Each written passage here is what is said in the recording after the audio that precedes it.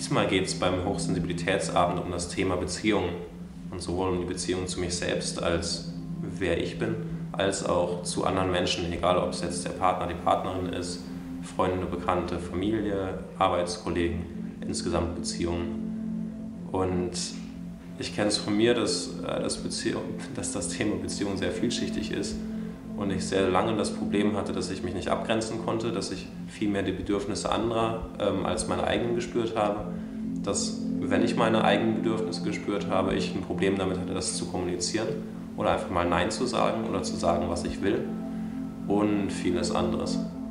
Und genau darum geht es in diesem Workshop. Es geht nicht um, um Theorie, sondern wir machen schöne, einfache Übungen, ähm, die, Bezie die einen auf eine ganz andere Ebene der Beziehung bringen. Also jenseits von Smalltalk und mm, das ist aber schön, ach, deine Arbeit macht dir viel Spaß, ah, ich glaube dir das auch wirklich.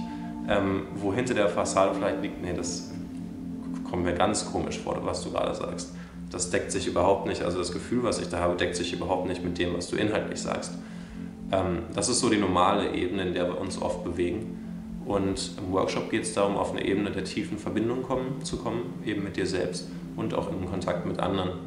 Und es ist auch explizit ein Raum, in dem du eingeladen bist, deine Masken des Alltags einfach draußen zu lassen und wo du dich einfach als du selbst fühlen kannst.